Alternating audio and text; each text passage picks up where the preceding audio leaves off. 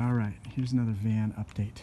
I think when we last left you, we had installed the, the water system. Uh, that's nothing much has happened on that.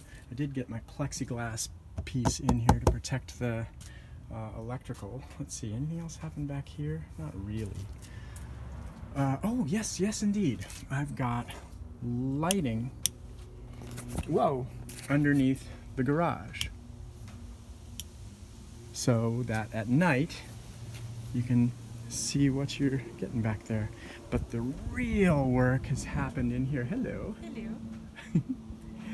Check that out.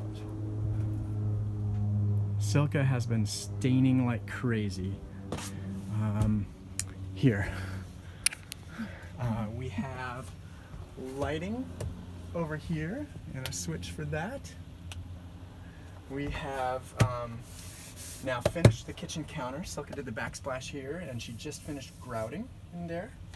Um, let's see what else? And of course the staining which looks amazing. Um, I got the what are we calling this? The linen closet is done.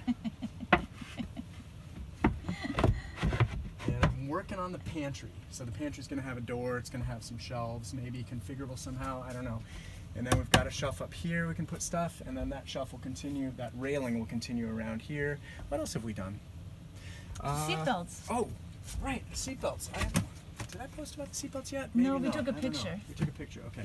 So there's seatbelts in the back seat. It's officially a four-seater now. Um, Silka just put the curtains in.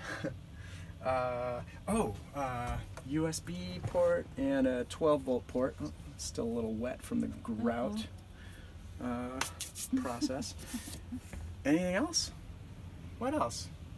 We're gonna take off. We're gonna take off. We're about to do its first two week trial run.